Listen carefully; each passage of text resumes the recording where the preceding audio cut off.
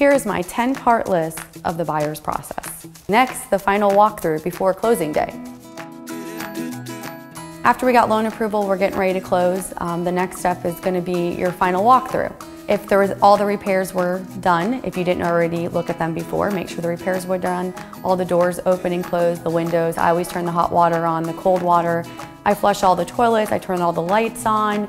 Um, I run the dishwasher, I turn on the stove, the microwave. I kind of just do like this, hey, let's make sure everything works today. Um, in that maybe they, you know, hopefully they didn't leave trash, um, the house is clean, or if they were supposed to leave a mirror and they took the mirror.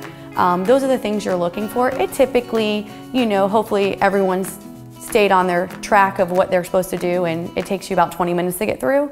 Um, but people have stayed there for an hour because they want to take measurements and stuff like that. But it's kind of the, oh, I can't wait till tomorrow, it's closing day, I'm moving in, the movers are scheduled. You know, if you have to agree on anything that's not done, it'll help avoid changing your closing time, maybe ruining your locked in interest rate. So it's really good to go through the final walkthrough to make sure everything's good so you don't get to closing and there's an issue.